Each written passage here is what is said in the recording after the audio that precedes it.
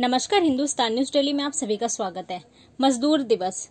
उन लोगों का दिन है जिन्होंने अपने खून पसीने से देश और दुनिया के विकास में महत्वपूर्ण भूमिका निभाई है। किसी भी देश, समाज, संस्था और उद्योग में मजदूरों, कामगारों और मेहनत कशों की अहम भूमिका होती है। मजदूरों और कारगारों की मेहनत और लगन की बदौलत ही आज दुनिया भर में देश और हर क्षेत्र में विकास कर रहे हैं। मजदूर दिवस हर साल बड़े ही उत्साह के साथ मनाया जाता है। मजदूर दिवस का एक महत्वपूर्ण स्थान है। मजदूर दिवस को लेबर डे, मई दिवस श्रमिक दिवस भी कहा जाता है। मजदूर दिवस या मई दिवस हर साल दुनिया भर में एक मई को मनाया जाता है। इस दिन देश की लगभग सभी कंपनियों में छुट्टी रहती है। सिर्फ़ भारत ही नहीं, दुनिया के करीब 80 देशों में इन दिनों राष्ट्रीय राष्ट्रीय अवकाश रहता है। भारत में मजदूर दिवस कामकाजी लोगों के सम्मान में मनाया जाता है।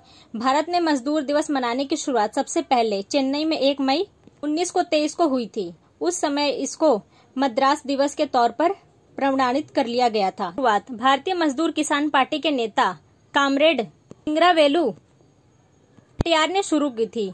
भारत में मद्रास, भारत में मद्रास हाईकोर्ट सामने एक बड़ा प्रदर्शन किया गया और एक संकल्प पारा करके यह सहमति बनाई गई कि इस दिवस को भारत में भी मजदूर दिवस के तौर पर मनाया जाए और इस दिन छुट्टी का ऐलान किया जाए। उस दिन समय भारत में मजदूरों की जंग लड़ने के लिए कई नेता सामने आए, जिनमें बड़ा नाम दत्तात्रेय नारायण, समाप्त उर्फ़ डॉक्टर साहब और जॉर्ज फर्नांडिस का था।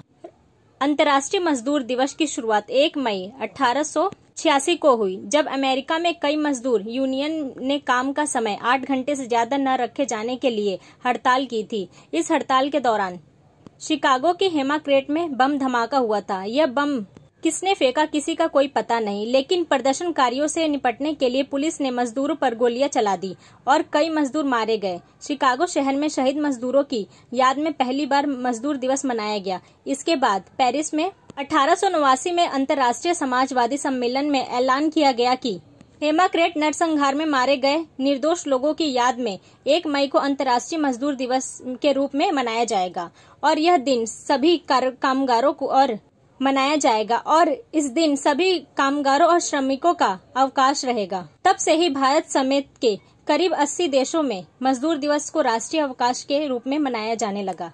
इस खबर में बस इतना ही। ऐसी खबरों के लिए हमारे चैनल को लाइक, शेयर और सब्सक्राइब ज़रूर करें। धन्यवाद।